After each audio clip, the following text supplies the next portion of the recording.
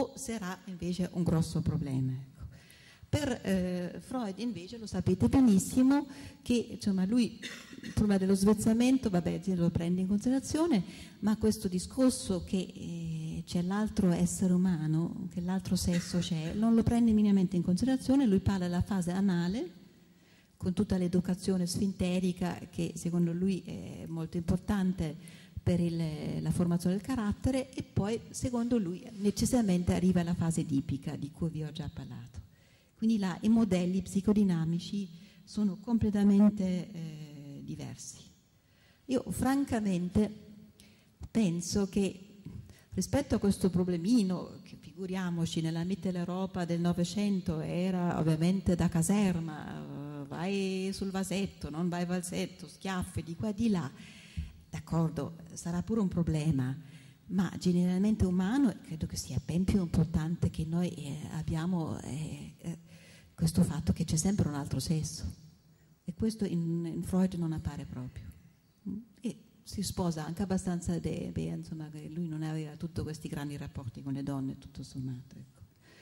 E vi ho già detto che secondo eh, quello che dicono anche gli antropologi in maniera crescente, l'Edipo non è una figura, non è un modello eh, diciamo, che si, si, incontra in tutte, le, in tutte le civiltà.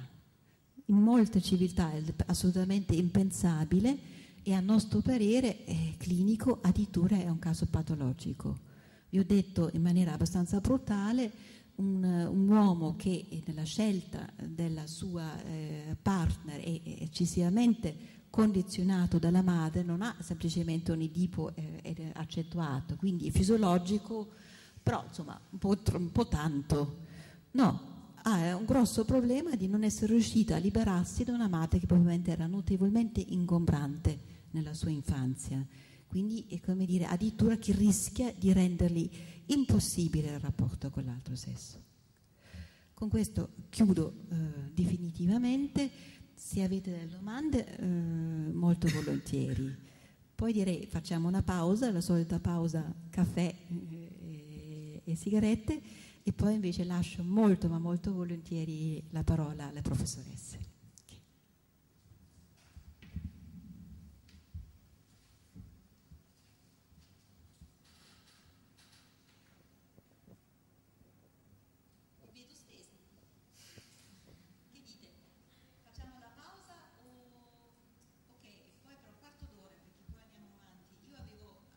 Grande angoscia oggi di vedere quando ci fosse la partita, però è alle 8 quindi possiamo mm, lavorare fino alle 6, ma comunque quindi un quarto d'ora di pausa e poi vediamo.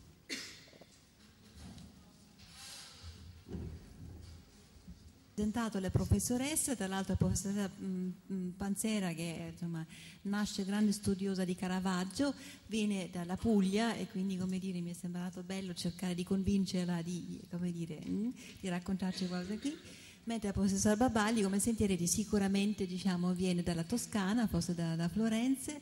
Io la conoscevo come egregia anglista e studiosa del rock, però oggi ci parlerà invece della letteratura francese e forse appunto di cose decisamente inedite. Loro due si sono eh, concordati, quindi ci faranno una lezione intrecciata in cui parla l'una e l'altra e eh, vedremo anche eh, appunto credo un ricco corredo di, di, immagini e anche di poesie. Prego. Grazie. Sentite, sì, è abbastanza. Allora, eh, oggi dovremo parlare di rapporto uomo-donna nelle arti visive e nella, e nella letteratura.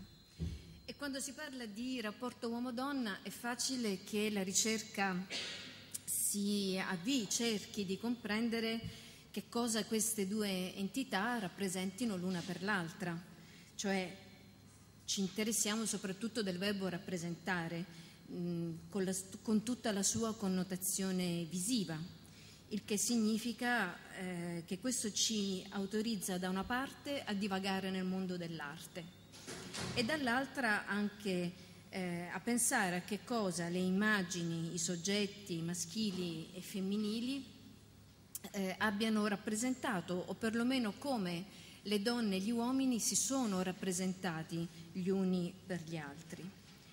E attraverso queste rappresentazioni dovremo riuscire a capire anche che cosa è stato l'innamoramento nella, nella storia. Eh, che cosa significa innamorarsi per un corpo diverso, da dove nasce questo mistero e, e perché improvvisamente da esseri interi ci cominciamo a sentire la metà di altri.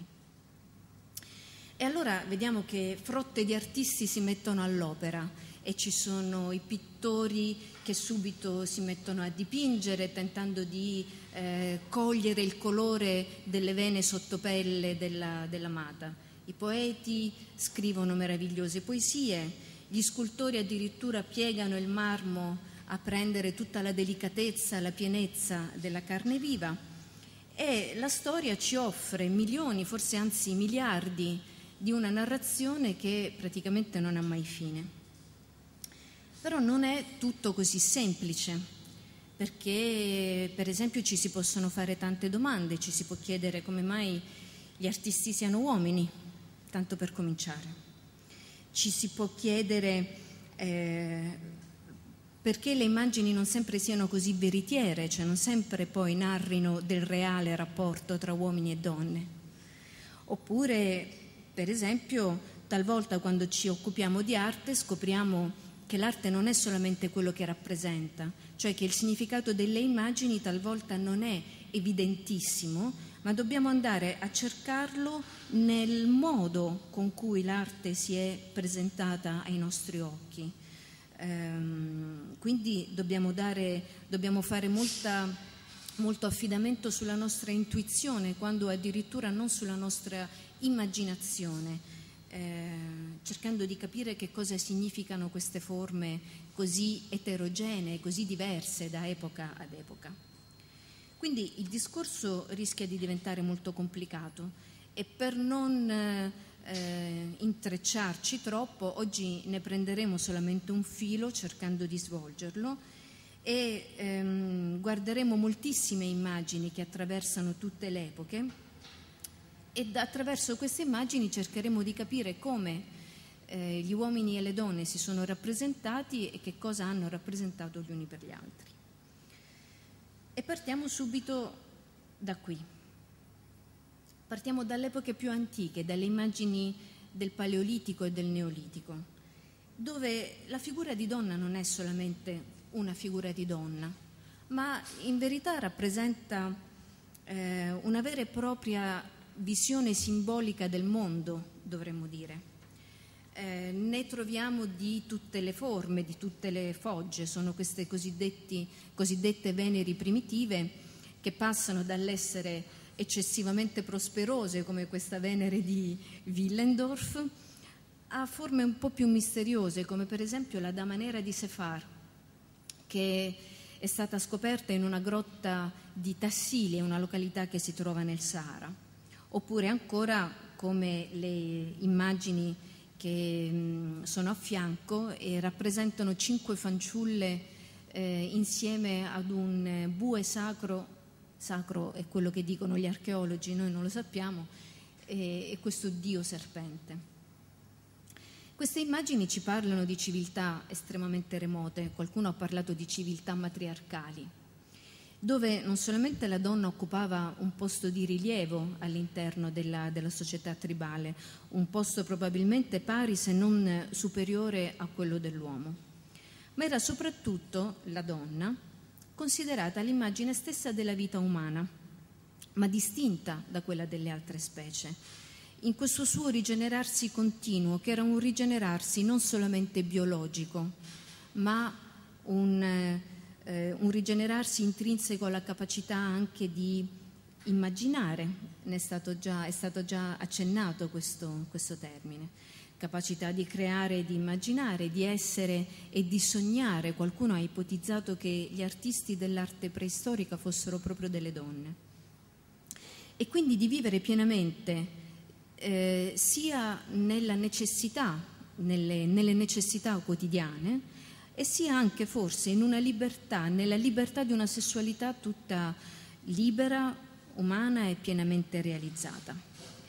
Siamo, potremmo dire, nell'età dell'oro, quella in cui la razionalità si mescola con l'irrazionalità e le pareti delle grotte si coprono di queste pitture eh, affastellate in un disordine apparente che in realtà invece ehm, per noi rappresenta il fluire libero di un pensiero che non è diviso dal sentire. Potremmo dire che è il tempo di Psiche, eh, che ancora in Omero, quindi al tempo in cui fu scritta l'Iliade, è intesa come tumos, come io vivente, come eh, sangue, respiro, persona, niente affatto distinta dal soma, niente affatto distinta dal corpo.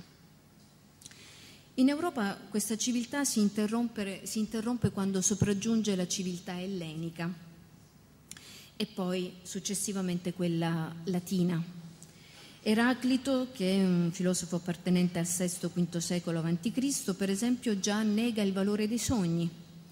L'Ellade crea le città, le polis, eh, e le organizza secondo il logos dei filosofi.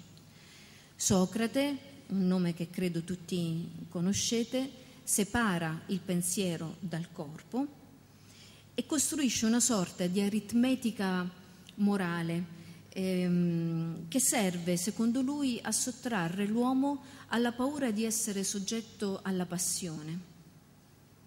Aristotele addirittura dice che l'uomo in passione è simile all'ubriaco, quindi a colui che non ha nessuna coscienza di sé e che addirittura rischia di farsi male. E nella religione greca entrano anche dei nuovi dei, che sono per esempio Dike e Edo, che tradotti significano giustizia e vergogna. E in questo mondo le donne non hanno posto. Eh, sono solamente fattrici della specie sostanzialmente. Il loro cedere piuttosto facile alla irrazionalità le relega in una solitudine che è quasi considerata patologica, maligna, dove il tumos, la psiche, è la radice delle azioni peggiori dell'uomo e dove la voce dei poeti non ha più un valore rivelatore, ma può essere solamente un, un simbolo, una rappresentazione di qualche cosa che l'uomo deve conoscere ma per tenerla lontana. E gli effetti della passione decantano nelle immagini del mito. Un mito importante, per esempio, è quello di Apollo, che di solito viene conosciuto come il dio della saggezza, della razionalità anche, ma originalmente non era così. Originalmente Apollo è un dio sfrenato che eh, fa atti efferati e che in questa efferatezza è accompagnato dalle muse, anche quelle le, le divinità che solitamente sono conosciute perché accompagnano le arti. Quando poi, giunto all'età della ragione, appunto, incomincia a utilizzare la sapienza, eh, allora mh, induce, chiede alle muse di abbandonare il monte Elicona e di ritirarsi a Delfi. Qui doma la loro furia selvaggia e insegna loro danze decorose e garbate. E l'arte cambia. L'arte non è più quella che noi conosciamo cosiddetta arcaica, ma diventa invece questa. L'arte che celebra una bellezza diversa, perfetta, ma certamente più pudica, la bellezza pudica di Afrodite, che pure è dea dell'amore, oppure l'austerità di Atena o la grazia di Nike. Rimane solamente, rimangono le menadi le Menadi che sono compagne del fratellastro di Apollo, cioè Dioniso, e rimangono loro a stravolgersi in danze orgiastiche, con il volto dipinto a strisce colorate, le braccia e le gambe tatuate, con la testa e i capelli lanciati continuamente avanti e indietro in una danza che deve portare alla fine allo sfinimento. Emulate talvolta nei riti dionisiaci da donne in carne e ossa, ovviamente esclusivamente in alcuni periodi dell'anno, le menadi sono l'immagine della passione che senza freni può condurre alla morte e alla distruzione. Addirittura si narra che esse divorino i corpi dei, degli uomini, dei compagni coinvolti nelle loro stesse danze, nei loro stessi riti. Ma noi qua ci dobbiamo trovare a parlare di arte.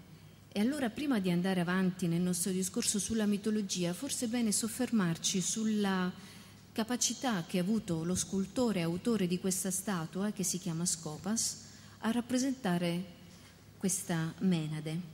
Socrate diceva che conviene che lo scultore rappresenti in forma visibile le operazioni dell'anima. E se voi mi permettete, io qui farei una piccola divagazione per capire in che modo l'arte deve essere usata, in che modo anche l'arte deve essere letta, perché non la possiamo prendere solamente come documento visivo di un racconto che è esterno all'arte stessa, ma dobbiamo cercare di entrare nel suo linguaggio, dobbiamo cercare di entrare nella sua specificità. Il suo legame eh, più apparente che, le, che reale con l'arte dell'imitazione invece che della creazione ha fatto sì che l'arte visiva, per esempio, non avesse neanche una musa. Non ci sono muse della pittura o muse della scultura. Ehm, e ancora oggi a volte si confonde la critica d'arte con la ricerca delle relazioni che legano l'arte ad altri fatti, come la politica, la storia o che so io. E certamente tutto è importante. Ma come dicevo prima, non dobbiamo ehm, concludere la storia dell'arte nella storia delle sue relazioni. E per dare, per spiegare meglio che cosa vorrei dire, mi rifaccio alle parole di un vecchio critico d'arte che era eh, Joel Elias Spingarn, un critico addirittura del 1911, che scriveva così. Io risogno il sogno del poeta e se può sembrare che io scriva questo alla leggera, dirò che lo risogno perché appunto mi sono svegliato e sorrido nel pensare di aver confuso il sogno con la realtà. Per mio conto, dunque, mi sforzo di rimettere un'opera d'arte accanto alle altre l'arte può trovare il suo alter ego solo nell'arte. E se allora noi proviamo a sognare il sogno di questo artista, di Scopas, appunto, possiamo vedere che questa menade, anche se frammentaria, parla il linguaggio stesso del soggetto raffigurato. È una sfida all'equilibrio dell'arte classica, quella che abbiamo visto prima nelle, nelle statue precedenti, a favore invece di una espressività estremamente accentuata. L'armonia e l'equilibrio vengono sacrificati, forzati, per fare esplodere una immagine intensa che non teme di rappresentarsi o di mostrarsi sconvolta e di comunicare interne sensazioni. Il movimento di questa statua non nasce da un gesto atletico, come accade nell'arte classica che è più conosciuta, ma da una forza interiore Quasi non sono i muscoli, ma i nervi a dettare le posizioni e le contrazioni del corpo. Come si vede per esempio nel collo teso. E la torsione che questa menade prende sembra quasi di natura psicologica. La veste sottile che si scompone sul fianco si apre è trattata con una leggerezza pittorica come un tocco di delicatezza che in, un certo senso contraddice in, invece le trapanature che rappresentano le ciocche dei capelli che ricadono pesanti sulla schiena della Menade, molto più coloristiche, molto più forti. La Menade di Scopas è una delle figure più vivaci di tutta l'arte greca ed è una donna a mostrare una fisicità piena e travolgente, ma l'espressione del viso tradisce insieme emozione e terrore. Facciamo un salto enorme, ma un filo diretto lega l'arte antica al Rinascimento. Il pensiero, il gusto del Rinascimento attinge alla cultura classica e la innalza a suo modello nonostante nella società molte cose siano cambiate, tra cui anche il ruolo della donna, che diventa più autonoma, comincia ad accedere anche ad ambiti che prima non le erano concessi, come per esempio la politica, persino la guerra e anche però la letteratura e l'arte.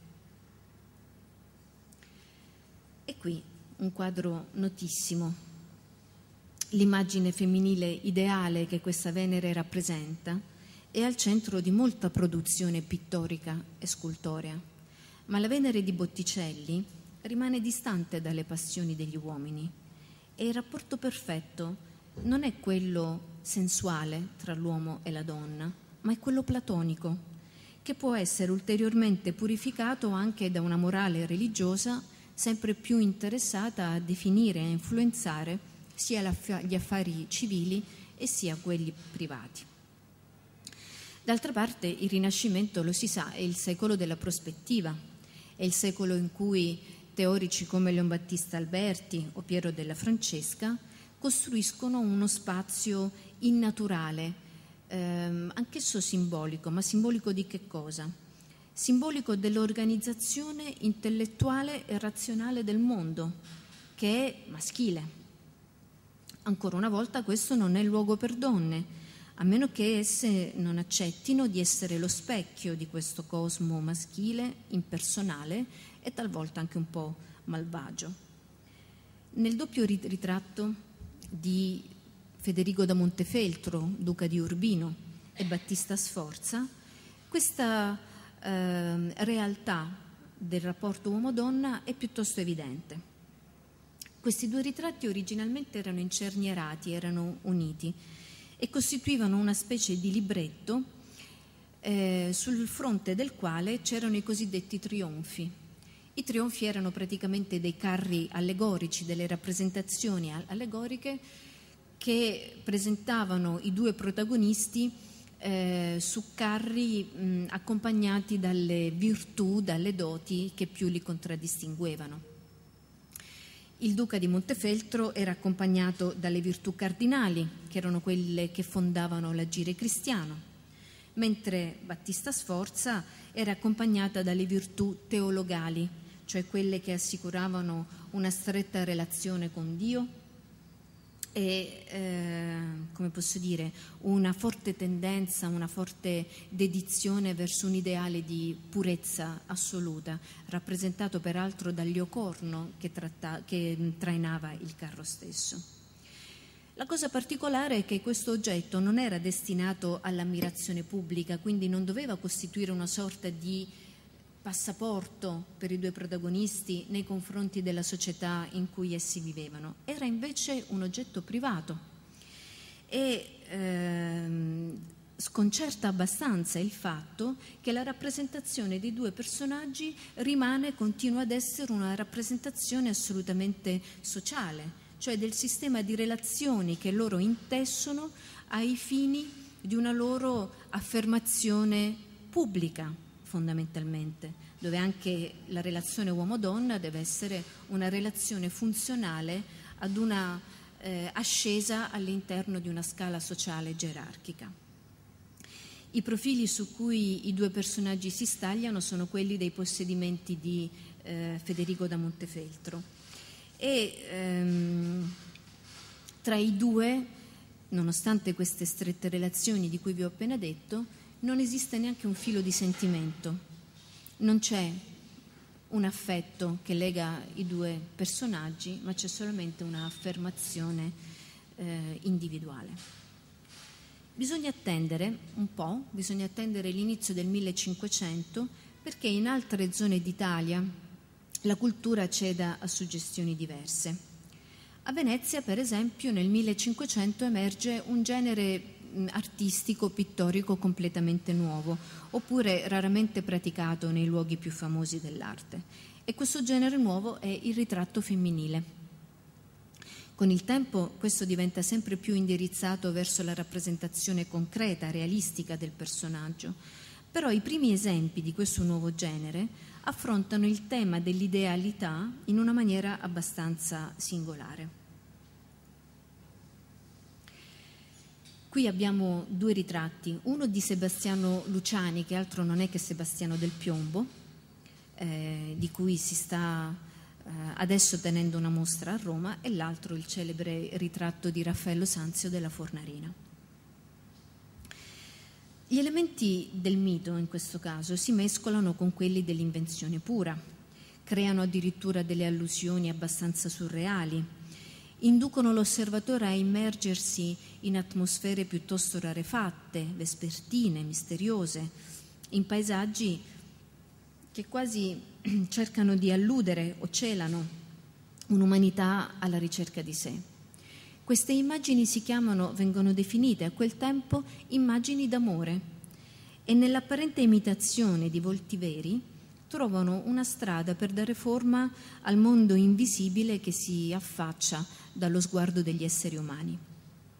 È la prima volta che le donne vengono ritratte per quello che sono davvero, non perché debbono rappresentare delle madonne e tantomeno i loro volti sono idealizzati nel senso di resi impersonali.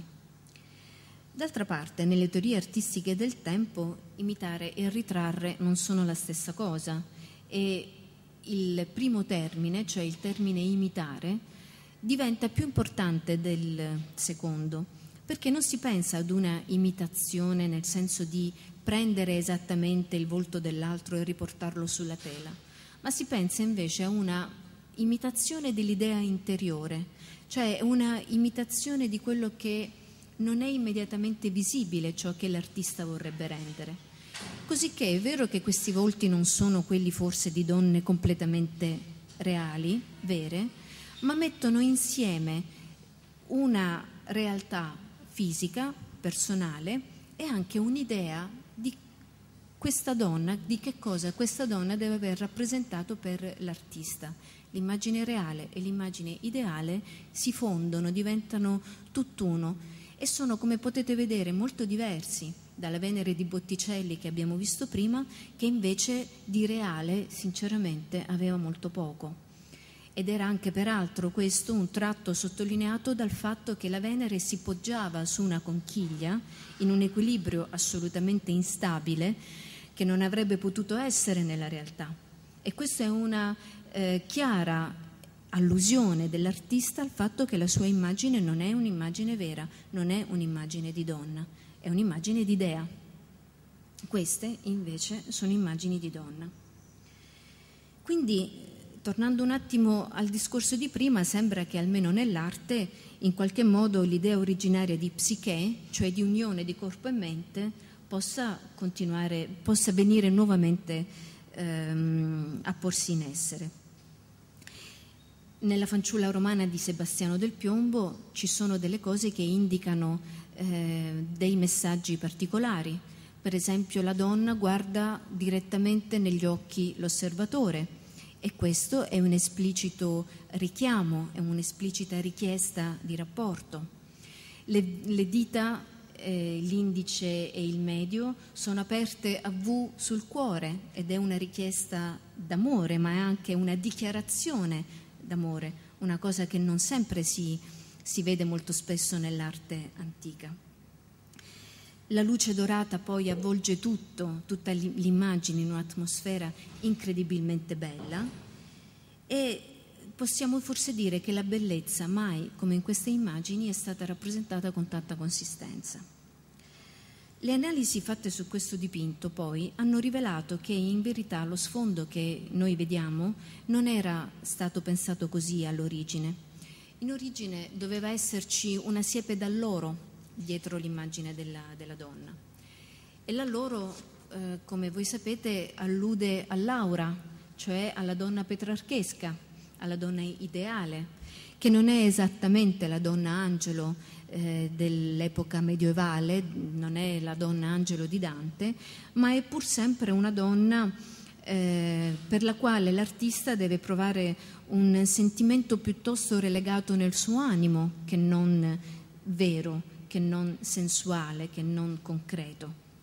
Anzi, è un sentimento impossibile che diventa tanto più virtuoso quanto più è impossibile e, eh, cosa che invece non esiste più nel ritratto di Sebastiano nel piombo. C'è invece nel ritratto di Raffaello che è di poco successivo. Raffaello qui eh, raffigura Margherita, la fornarina, la sua amante. È vero che mette le foglie d'alloro dietro eh, lo sfondo, sullo, sullo sfondo, però scopre completamente il busto e in un certo senso riporta la, la donna alla sua realtà vera, fisica. Anche se poi il nostro Raffaello in qualche modo ci rassicura, eh, non vuole essere troppo conturbante, non vuole troppo rappresentare una turbativa per lo, per lo spettatore. E che cosa fa? Mette alla sua donna un anello da sposa, purtroppo nella diapositiva non lo si vede molto chiaramente, ma è un anello eh, che sta sulla, sulla falange della mano, della mano sinistra e soprattutto le mette questo bracciale sul braccio eh, sinistro dove è inciso il suo nome per dichiarare il possesso indiscutibile della fanciulla in questione. Firmato. Lei è, è firmata più che il quadro. Insomma, tutto sommato il ritratto di Sebastiano ci sembra più intrigante e sembra anche riecheggiare alcuni versi de, di un amico artista di Sebastiano famosissimo che è Michelangelo Buonarroti, il quale si dilettava di scrivere rime e che tra le tante che ne ha scritto dice anche se tu incateni altrui senza catena e senza mane o braccia mai raccolto, chi mi difenderà dal tuo bel volto? Insomma, mentre Sebastiano dipinge le sue immagini eh, d'amore, che poi però abbandonerà quando arriverà a Roma e dovrà essere a contatto con un ambiente molto più restrittivo e soprattutto con la Controriforma, vediamo anche che Tiziano, suo coetaneo e conterraneo, passa a fare queste opere che sono un concerto campestre e la rappresentazione di amor sacro e amor profano. Leggiamole. Nella prima, nel concerto campestre, qualcosa di strano aleggia nella composizione. Ci sono due uomini vestiti e due donne nude, ma non è tanto questo lo strano. Lo strano è che i due uomini vestiti non guardano affatto le due donne nude, sono assolutamente concentrati l'uno sull'altro. E allora, che cosa dobbiamo pensare? Forse che le stanno sognando? oppure che, loro, che queste due figure nude in verità sono solamente immagini che poi verranno tradotte nella musica dell'uno e nel canto dell'altro? Sono immagini ideali oppure sono semplicemente idee rappresentate con un corpo di donna? Di certo, come vediamo poi nella figura successiva, cioè scusatemi, nella figura sottostante, l'amore nel Rinascimento rimane un ossimoro, cioè rimane diviso ancora fra bene e male, fra purezza e sensualità, piacere e dolore. Insomma, una pericolosa combinazione di opposti che Tiziano dichiara quando tra l'amor sacro e l'amor profano mette, fa sedere le due figure su un sarcofago, che è una chiara allusione a un'immagine di morte. Più la seduzione e la passione irrompono, più gli amanti sono destinati a essere infelici, ad essere l'uno la morte dell'altro.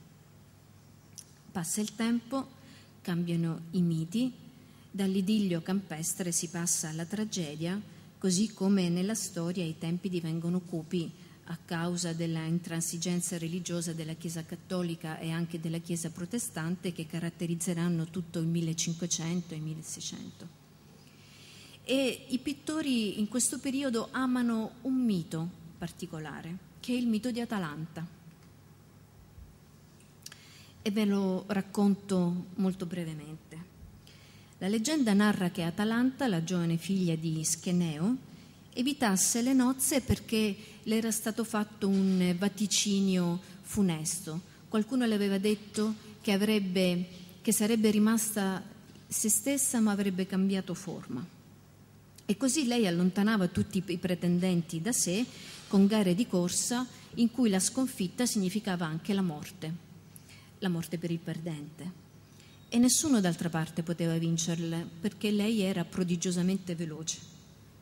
Tuttavia il giovane Ippomene la guarda, se ne innamora e decide di affrontare la sfida. Sorretto da Venere, eh, si mette in gara con Atalanta che peraltro rimane colpita dal giovanissimo fanciullo, ne rimane colpita per, la, per il grande coraggio che lui dimostra, ma anche per, le, per l'enorme bellezza, tant'è che le si prospetta forse la possibilità anche per lei di potersi innamorare. I due gareggiano e Ipomene ha piccola, un piccolo trucco, ha tre pomi d'oro che le sono stati dati da Venere e che lui getta durante la corsa. Atalanta, incuriosita e soprattutto desiderosa di possedere questi pomi, questi pomi d'oro, si china a raccoglierli, perde tempo e quindi perde la gara. Finalmente Atalanta deve convolare a nozze.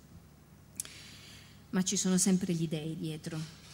E così eh, i due giovani ehm, che dovrebbero comunque aspettare e mantenersi in un, eh, in un, contesto, in un'attesa ancora di quello che dovrebbe essere il culmine del loro eh, neonato amore, invece cedono alla passione e proprio sulle soglie del Tempio Sacro a Giunone hanno un rapporto amoroso travolgente. Giunone, vendicativa, come tutte le madri, posso dirlo? non lo so. Eh, decide di punirli. Decide di punirli in questo modo, trasformandoli in leoni, così che i due non potranno mai più avvicinarsi senza sbranarsi. Quando nel 1620 Guido Reni eh, rappresenta questo, questo, quadro, lui si sofferma sulla scena culminante della, della corsa. Ehm, ci racconta che Atalanta rappresenta lo sguardo dell'anima che si sofferma sulle cose belle e nuove, simboleggiate dai tre pomi d'oro. Ma Eros, bellezza e verità ancora non riescono a fondersi. Eros è ancora una belva feroce. Lascio la parola ad Alessia. Grazie.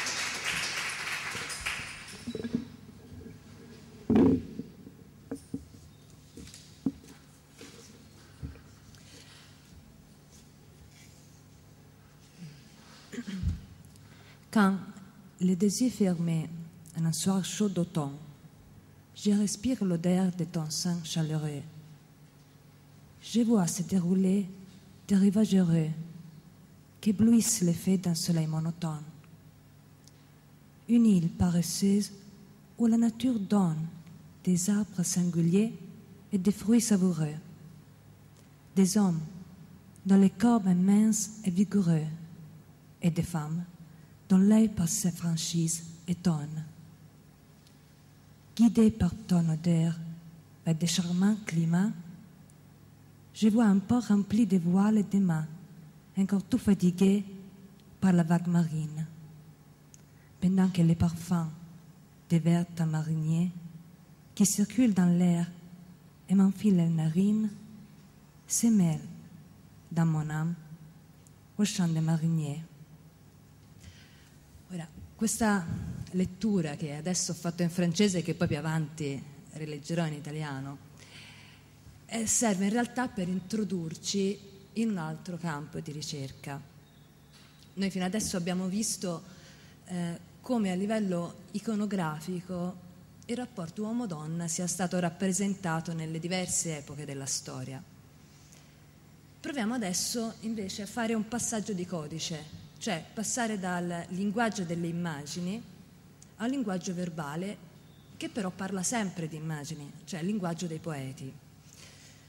Dunque, eh, nelle varie rappresentazioni che abbiamo visto, eh, ci siamo accorti come il concetto di passione nel rapporto uomo-donna eh, torni fuori spesso, sia piuttosto ricorrente. E, e, in effetti nell'immaginario di ognuno di noi il, la passione è una parola che è strettamente legata al rapporto d'amore, a un rapporto travolgente, coinvolgente. E quindi soffermiamoci un attimo a vedere quando questa parola passione si è eh, caricata di questi significati. Ora, la parola passione ha un'origine molto antica, deriva dal greco significa sofferenza, pena, travaglio, forte commozione dell'anima. ed è stata utilizzata anche in modo importante dai filosofi nel corso dei secoli, a partire dal, dai filosofi del V secolo, avanti Cristo, Platone, Aristotele, però quello non è l'ambito del discorso che ci interessa, perché eh, in realtà quello che vorremmo fare adesso sono delle ipotesi su come e quando eh, questo concetto di passione si è caricato di questi eh, significati che ancora oggi noi eh, consideriamo appunto riferendoci al, alla passione amorosa. Dunque, io direi di collocare, di soffermarci sulle vicende storiche, letterarie e soprattutto poetiche dell'Ottocento, perché mi sembra che sia proprio in questo periodo che eh, le immagini intorno alla parola passione cominciano a prendere quel corpo che poi tutt'oggi noi riconosciamo. Allora, intanto consideriamo che la passione è uno dei concetti fondamentali del romanticismo, che appunto si sviluppa proprio nella prima metà dell'Ottocento. E proprio nel romanticismo eh, emerge e si consolida un, un modello d'amore che avrà una grande fortuna in termini di diffusione, che è per l'appunto l'amore romantico. Ora cerchiamo di vedere però come questo concetto di passione e il modello d'amore romantico a un certo punto si, si incontrano, cioè dove e soprattutto come si incontrano. Eh, non è un caso che io abbia iniziato leggendo una poesia in francese, che è una poesia di Baudelaire, perché si può pensare eh, che sia proprio in realtà questo autore che si pone come ponte tra romanticismo e modernità che abbia favorito l'incontro fatale tra questi due, tra amore e passione. Però prima di arrivarci penso sia utile soffermarci sul percorso che è stato fatto per poi favorire questo incontro. E quindi ritorniamo al romanticismo. Ora, il romanticismo che si pone all'inizio del, dell'Ottocento, appunto, abbiamo una visione piuttosto drammatica del, del rapporto tra l'individuo e la società, visione che non era eh, altrettanto drammatica nel Settecento. Nel Settecento abbiamo Rousseau che ci propone un'ipotesi di pacificazione di questo rapporto col,